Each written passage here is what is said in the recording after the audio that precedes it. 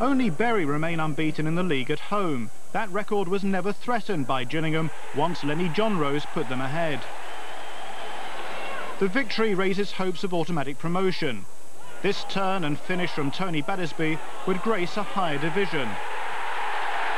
Battersby, though, ruined his day by getting sent off, as did Gillingham's Neil Smith, who received two yellow cards. This was his second dismissal of the season. A 3-0 win was assured when David Johnson pounced on A.D. Pennock's mistake.